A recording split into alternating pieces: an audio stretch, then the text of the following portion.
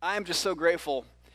I woke up this morning so excited and still really tired, but also very, very excited about what God, what God did on Friday. I'm so grateful for all of our volunteers who came and helped us put this together, our sponsors, and then just prayers that went into it. So ultimately, God, God showed up in a powerful way, and so it, it was really, really, really an amazing event. I'm grateful for you guys for for promoting it, celebrating it with us, and, and just lighting up the night. So thank you for that.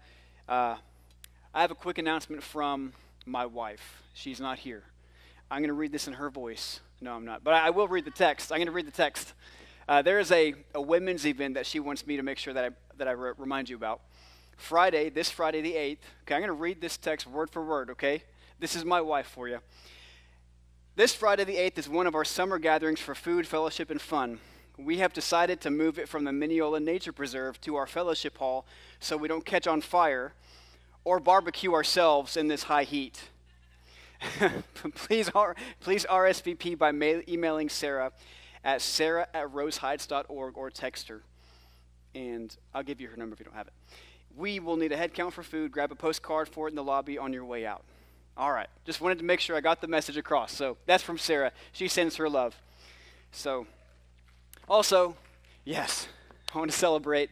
Uh, I want to acknowledge today is we're, we're, getting into Independence Day weekend, you know, and I'm just grateful for for how our country began, and I want to continue to believe. You know, I, I, love this saying that, you know, yes, God bless America, but may America bless God. That's the prayer of my heart that we return to being a nation and that we bless God, that we make much of Him. You know, um, this is a funny story that you're going to wonder why are you telling this story? Um, there was a man in New York. He went viral back in March, and uh, for living in a tree, he built a tree house, and he his house was being dismantled by the authorities because he was in a public park, so they wanted to dismantle his home and move him somewhere else more permanent. And while he was dismantling, while they were dismantling his his home, uh, some reporters came and were taking pictures of him and thought it was just a fun photo op. And so the guy they called Squirrel Man got off the tree with a tree branch and was whacking the photographer and the reporter in the head. And every, nobody died. But anyway, you hear a story like that and you're wondering, there's a story there somewhere. We hear a headline like Squirrel Man and we're like, there's got to be more to this story than just a man living in a tree. Somewhere along the line, some, there was a series of events that led him to where he was. And right now you're wondering, why did you even tell that story? What was the point of that? Well, I kind of wanted to because it's about a man who went up in a tree, and we're talking about a man who was in a tree today as well. So it kind of, in a way, in a roundabout way, will connect. But when I, if I say his name right now, you're going to be singing about this wee little man, and the wee little man is he. So I won't say his name just yet. But, you know, I was in Guatemala just a few weeks ago, and uh, we were coming back home, and it seemed like everything was against us to get back home. I, I was missing my wife and my kids and my family so, so much, really ready to be home and uh, get back to yelling at my kids again. No, I'm just kidding. But getting back to just re- regular family life. So on our way home, we missed our flight because it was t- there was a torrential downpour and the streets were flooding, and there was actually bridges collapsing. And it was pretty serious. Uh, we got to the airport, we missed our flight because of the horrible rain. So they rerouted us to Miami, Florida. And so, you know, I can't say we got stuck in Miami with a straight face, but we got stuck in Miami. They, they sent us back to Miami, Florida, but at least we were back, back in the States, is kind of what our, our thinking was. Let's just get, at least get back to the U.S. Uh, so we got back to the U.S. What we found out when we got to Miami was that they had not actually connected us with, for the DFW flight the following morning. So we didn't have a confirmed flight. So they sent us home, and then we had basically just a one way ticket to Miami.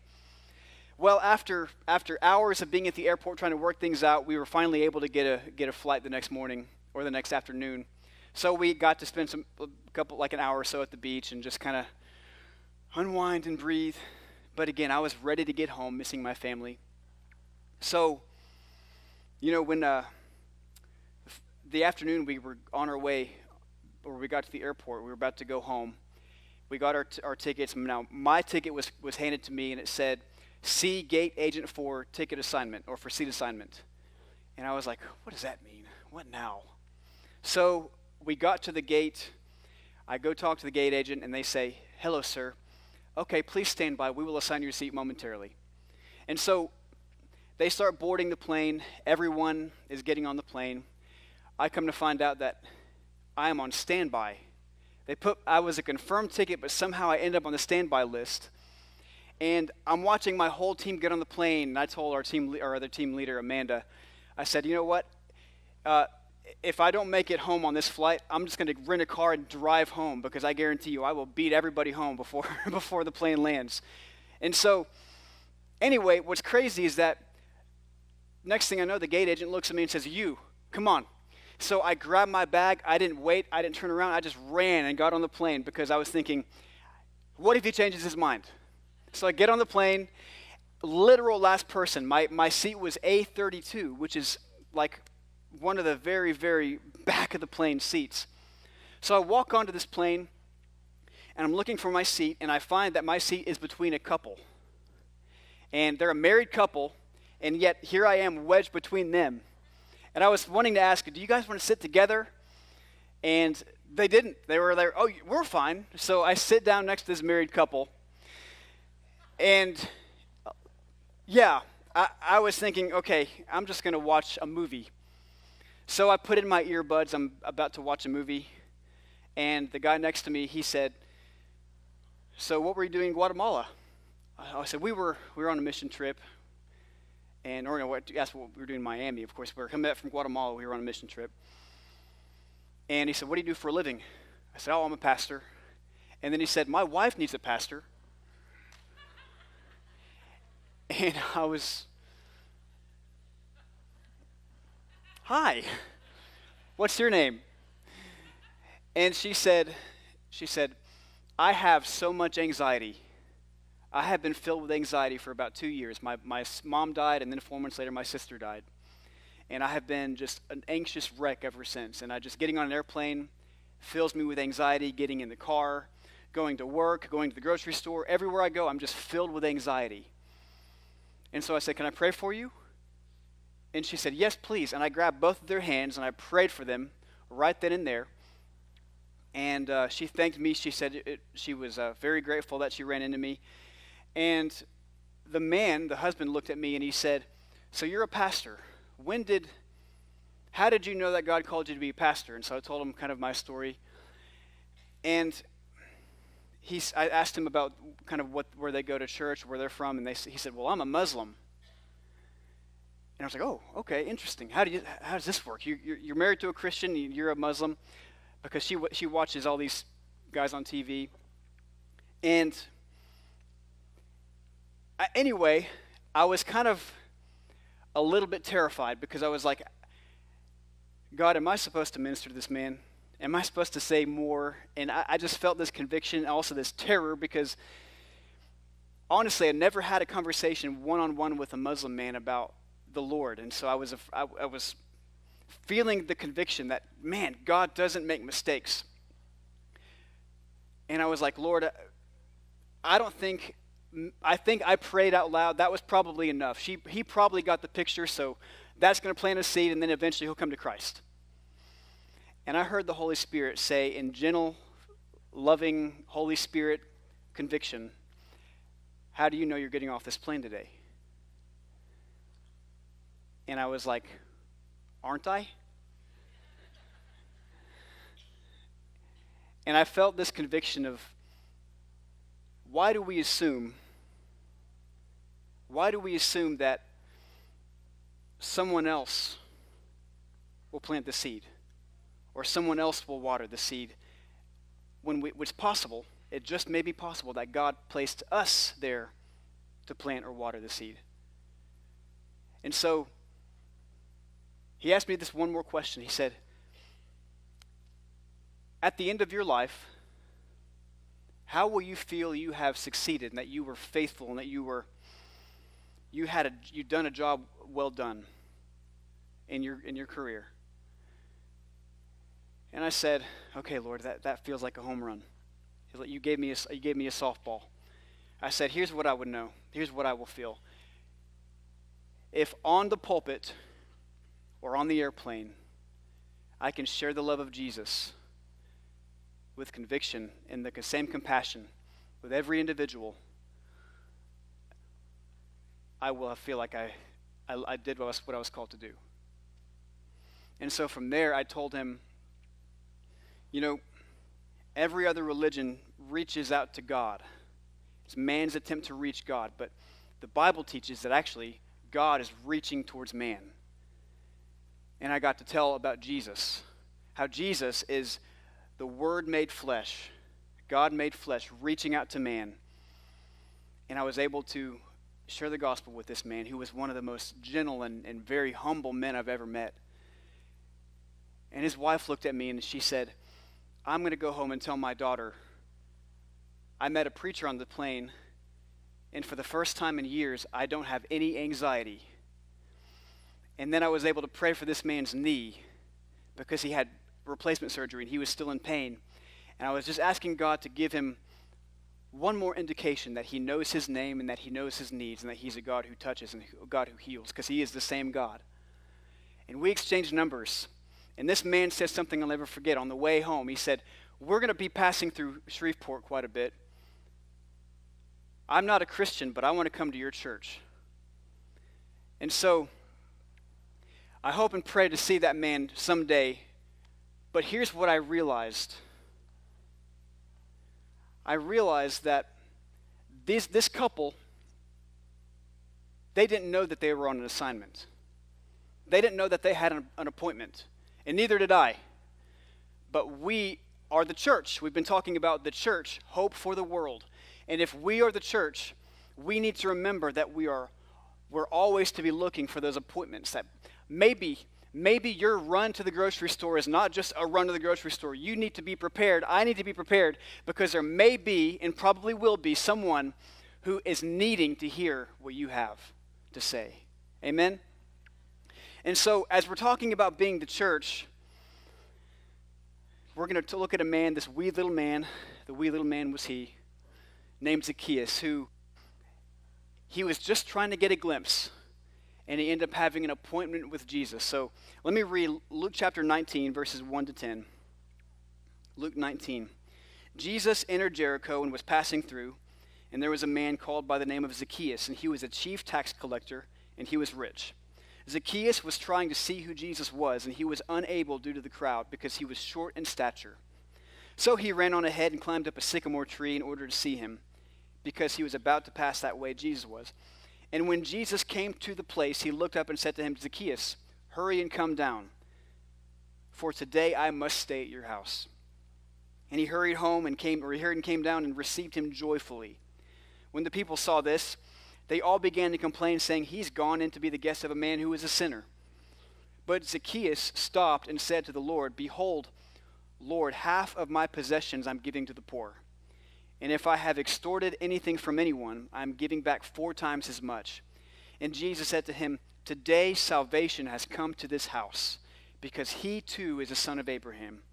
For the Son of Man has come to seek and to save that which was lost. This morning, if I could preach this message in one sentence, it would be this The church is a place where sinful sinners can find hope. Let's pray real quick. Father, we love you so much. We thank you for who you are. And Lord, I just pray that you help us to remember that you have appointments with people. People, everyone will stand before you one day. God, may we May we do everything in our power to help prepare those, to, those we come in contact with to stand before you. Lord, I pray that you would give us a heart for the lost. Lord, I pray that you would just give us boldness. Lord, I pray that we would have that same spirit that Paul had where he said, I am not ashamed of the gospel because it's the power of God unto salvation. God, help us to live and believe that the gospel truly is the power of God unto salvation. In Jesus' name, amen. You know, I mentioned sinful sinners, and so some of us are thinking, what, is, what does that actually mean? Well, there actually there are three types of sinners that are, we, sh- we see in the Bible. There are there are good sinners. Those are who, people moral, who are moral people who don't realize they're they're not walking with the Lord, or maybe they don't believe in God. They maybe they're atheist or agnostic, but they they're still good people with a moral compass for some reason. They they still want to do good and treat people with kindness. And you know, even the man on the plane that I got to sit next to, again, he made an impression on me. One of the most gentle people I've ever met. And though he doesn't know Jesus at here and now yet, I'm praying that he will. There, I still I loved him instantly. And then there are those there are ignorant sinners, and when I say ignorant, I don't mean that as an insult. I mean that in the literal sense of the word. It just means to be without knowledge. That's what it literally means. So they don't know. They just don't know. That may, may, maybe maybe many agnostics might fall in the category of being of being an ignorant sinner. They they don't know, and they're honestly, desperately seeking, and sincerely seeking to know the truth. But then there are sinful sinners who do they do know the truth. They do know that they're sinning and they don't care. In fact, they they're going to push against God no matter what. They they're proud. They're bold, they're bold, you know, bold and boastful in their sin. And so Zacchaeus kind of falls into that category.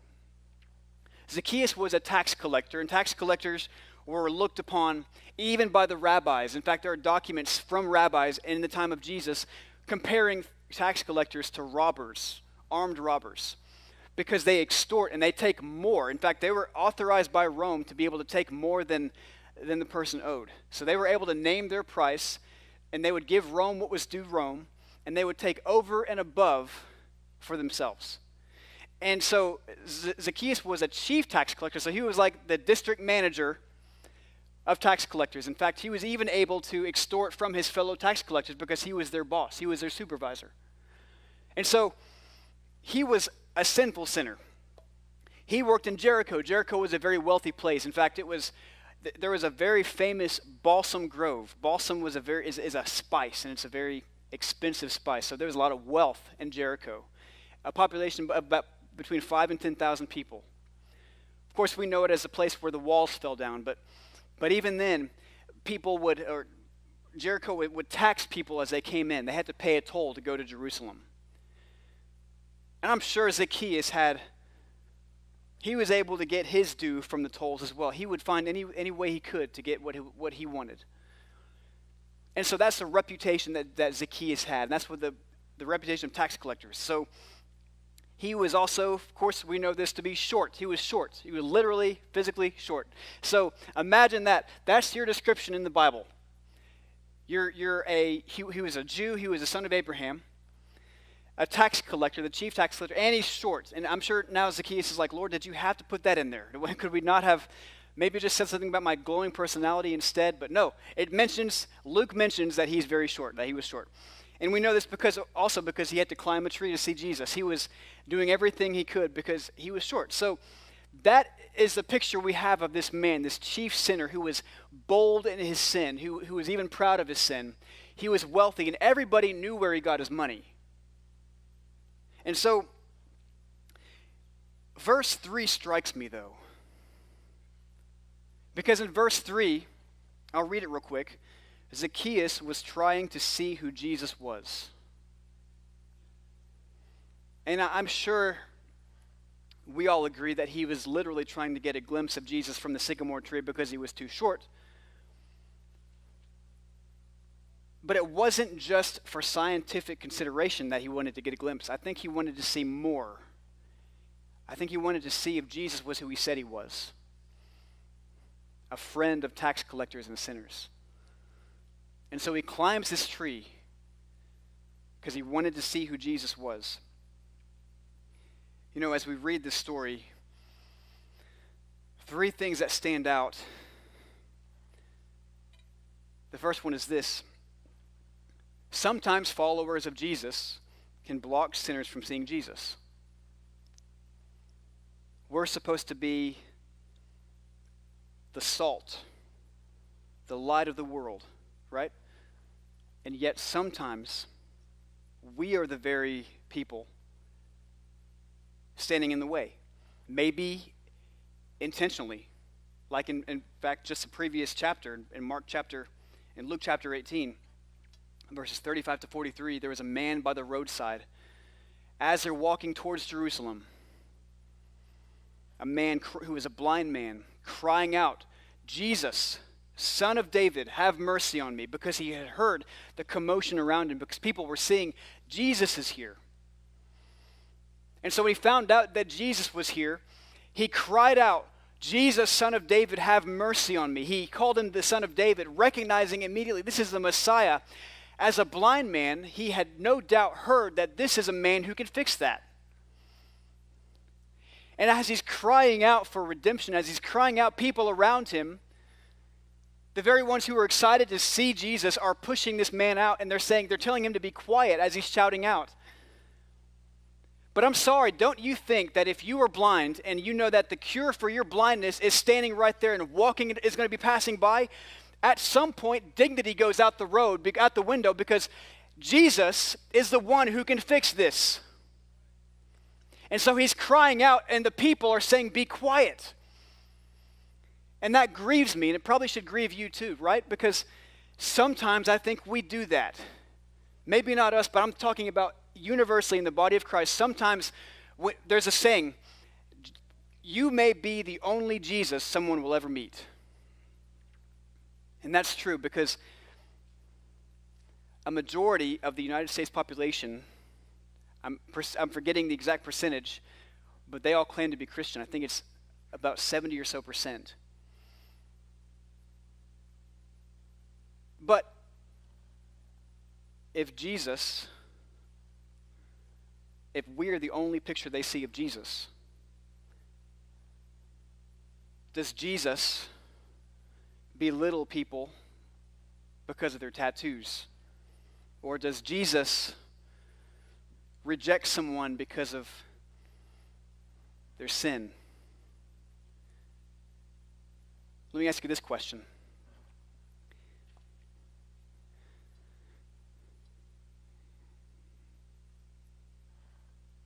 If the lady at the airport behind the counter found out you were a Christian, would you be embarrassed by your conversation?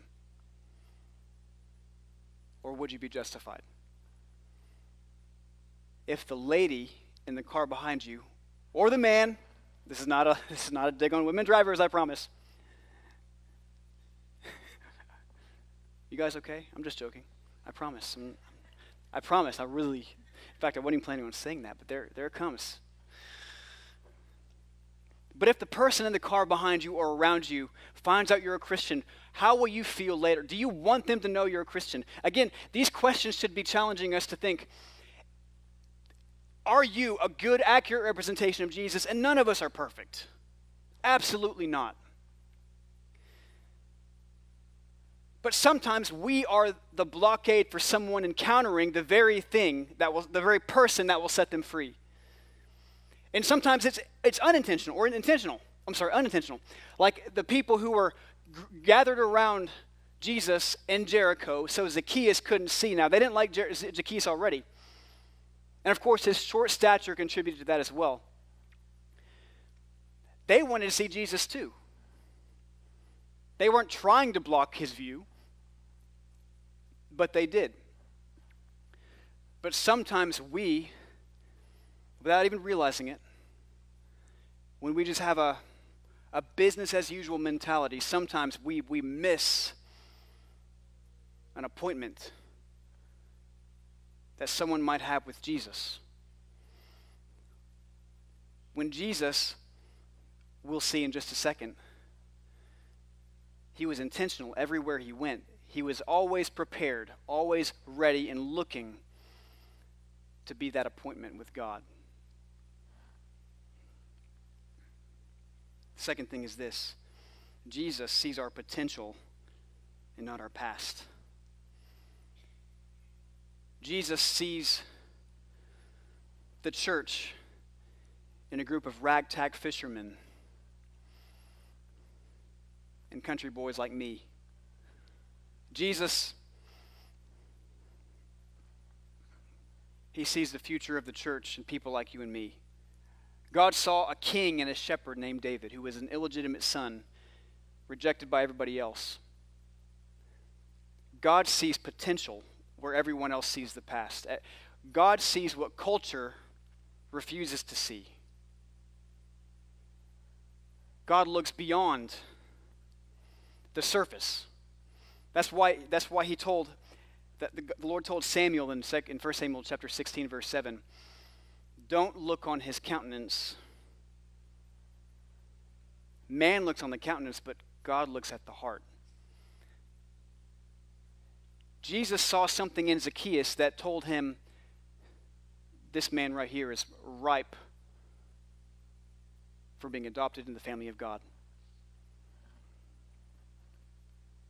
I love this part. In verse 5, Jesus, it says, Jesus came to the place. The word for place is where we get, is actually a word that means appointment or fulfillment. So he came to the point of fulfillment. He came to the place of appointment. You know, if you're looking for a new house and you you, and your family are driving around, you're looking at all these different houses, and some of them you're like, okay, that, that's a good one. Okay, I like that one. Okay, well, that, that one's okay. But then you get to the place, don't you? Because you look around and you look at each other and say, this is the place. Or maybe you've walked into a church and said, this is the place. Somehow we know when we're in the place. Jesus knew that he was in the place. He wasn't, it wasn't just about a matter of geography. Jesus said, This is the appointment. This is why I have walked through the gates of Jericho. Probably having to pay a tax to get in there. And yet Jesus was on assignment because he saw what we couldn't see. He saw the potential. How do we know that? Because in verse, I lost the verse. Because in verse 5, yeah, in verse 5, Jesus calls this chief tax collector by name. Okay, Zacchaeus, on the eighth day after he was born, was circumcised. He was given the name Zacchaeus. The name Zacchaeus means pure and innocent. That is hilarious for a man who is famous for extortion and robbery, even in the eyes of the rabbis. And yet, Jesus he looks up. He's walking through the crowds. Again, Zacchaeus is trying to get a glimpse of Jesus. He's looking just to get a glimpse because he wants to see who Jesus is. But Jesus knows exactly where to look because he looks up at Zacchaeus and says, Zacchaeus. He calls him pure and righteous one.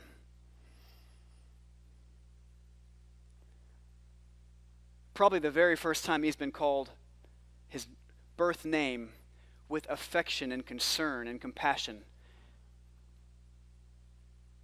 Everyone else probably has a name for Zacchaeus too, but it's probably not worth saying out loud here. But Jesus sees something in Zacchaeus, something in this seeker that he's drawn to. Pure and innocent one. Then he says this hurry, hurry down today, today, I'm going to stay in your house. He says, Hurry.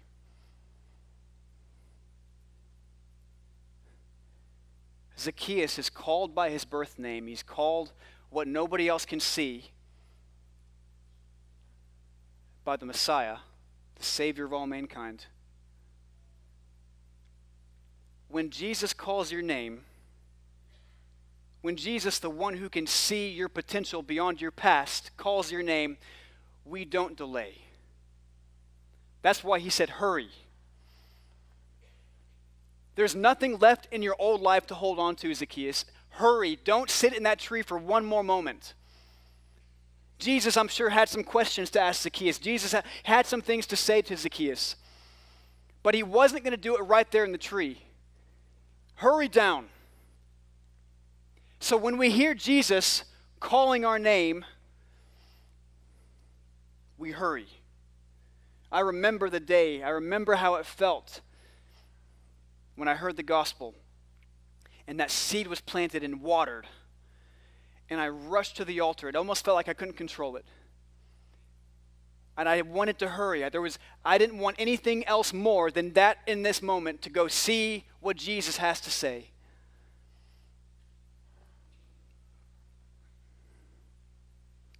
I'm coming to your house today, he says. Third thing is this the evidence of our transformation is found in our home because then Zacchaeus, he, he climbs down the tree with joy, happily, excited. And then he talks about how he's going to repay fourfold what he's stolen. It's interesting that he wanted to start at home. And I believe it's for a couple of reasons. I mean, there's that saying, home is where the heart is. Home is where the guard is down. You know, when you go to someone's house, you're seeing the down to earth, hair let down version of a person. The most authentic version of ourselves is at home. Jesus is saying, Let's go to your house I want to have a relationship with you.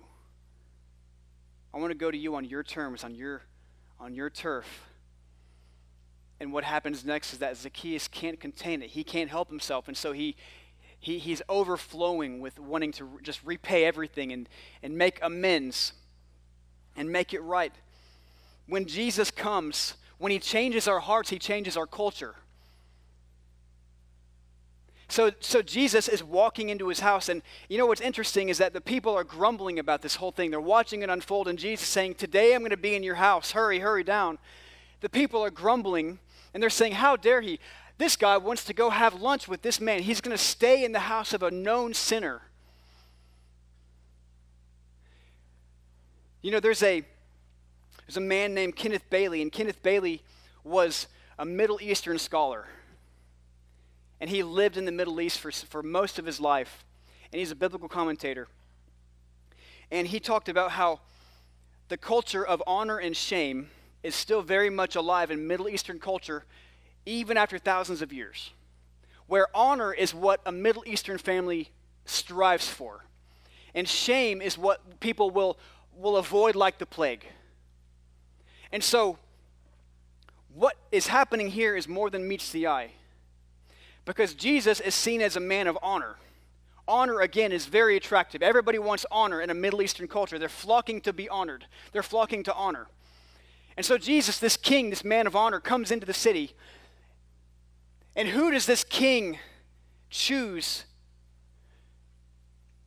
to stay with? But the chief tax collector of the city. What this means is speaking much more volumes than the text reads in, and of itself. But what it really means is this Jesus is saying, I'm going to honor you as a person of honor, staying in your house. I'm bringing honor upon your house. And everybody knew that, which is why they were upset. Because him staying there was, Jesus was showing Zacchaeus honor. And so, what's interesting about this is that transformation takes place when, when, he, when he says, I'm coming. I'm coming to your house. Transformation begins to set in, and, and Zacchaeus can't help himself. And he, he says, I'm going to repay everything. When we allow Jesus to be the Lord of our home, the kingdom of the culture of the kingdom comes into our home. Marriage issues so often are not just marriage issues, they're sonship issues. Who is your father? It's an issue of discipleship. It's not always just a matter of relationship, but when, when we catch, when we allow Jesus to come in and change the culture of our home, the culture of our heart, identity shifts from world to kingdom. And that's what we see happening in the life of Zacchaeus. He comes to transform our families. He cares about our marriages, he cares about our parenting and our relationships.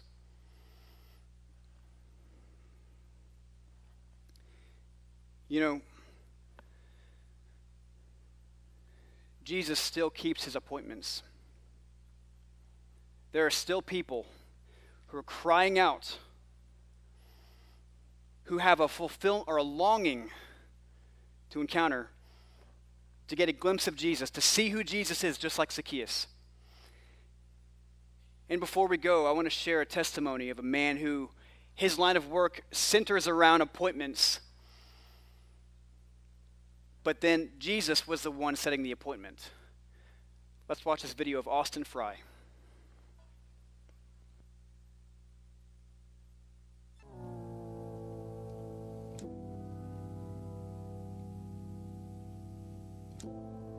Had a lot of structure and, and shelter in my life. I was pressured very heavily by my dad who uh, who did more harm than good, although I know in his heart he always meant good. I was first baptized when I was 13. I never really knew what it meant. It felt more like pressure. It felt like more obey or else. That really kind of pushed me away from religion and I fell off into a bad way. You know, I started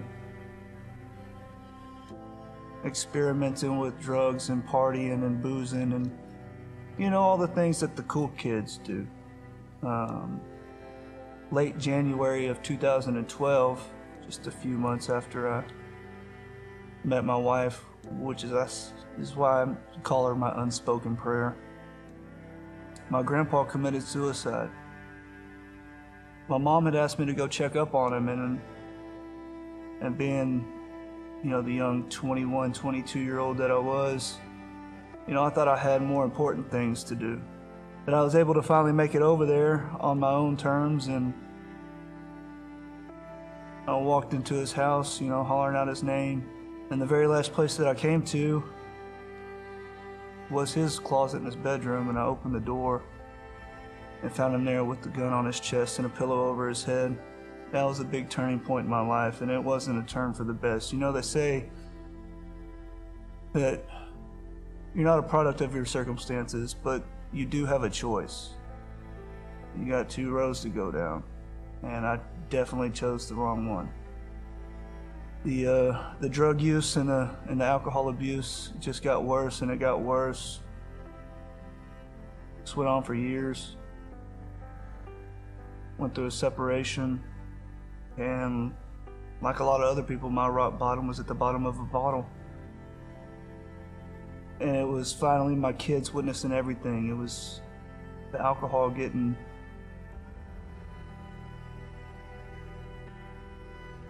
brought my teenage son to tears. My seven year old, he didn't know what was going on.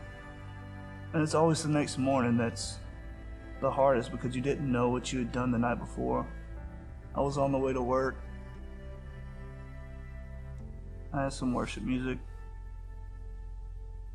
playing and I just turned it off. I broke down.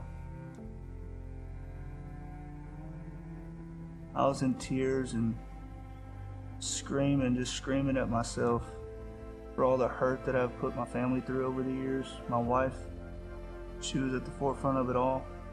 It was in that moment in the truck, I was just, I called out called out for for Jesus. I called out for a Savior. And it was at that point where I surrendered my life. I haven't had a drop of alcohol since that day. And I promised my kids that I would never drink again. I was still smoking weed. And I asked God, I was like, if I'm doing wrong by by smoking weed, Lord, I pray that you send somebody that knows you to give me clarity and confirmation on whether or not I'm doing wrong by you. Before the day had even started, I, I prayed that prayer and I, I opened up my devotional at, shortly after that, and it talked about revival without reform. And that kind of struck a nerve with me. Well, I knew my worship pastor, Brandon Kaiser, was coming in later that day, so I, I spoke with him and I asked him about, you know, the situation and, and got some ministering from him, and he told me straight up, you know, just you can't you can't manipulate scripture to fit your lifestyle. And that hit home and it made a lot of sense. The very end of that exact same day, a missionary walks into the barber shop and she didn't even know it. she was an answered prayer, and she was my confirmation. From that point forward, I put it down. I haven't done it again. It was in August of 2021 where Brandon had, had baptized me and my wife both. You know, every day I surrender my, my goals and my ambitions, my dreams over to the Lord, and every time that I've tried to control the situation, it always ends in chaos. And since I have been surrendering everything to God, it has been victory. Dreams have been fulfilled. The want and the desire for anything is non existent. All I do is put my faith, my trust in God and keep moving forward. He is my provider, He is my refuge, He is my strength. Above all that, He is my Savior.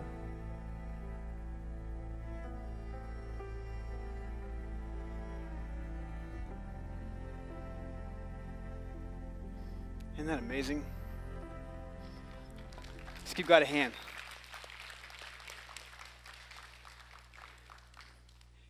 Today we have a privilege of seeing Mr. Austin Fry here in person. Would you come up to the stage with me, Austin?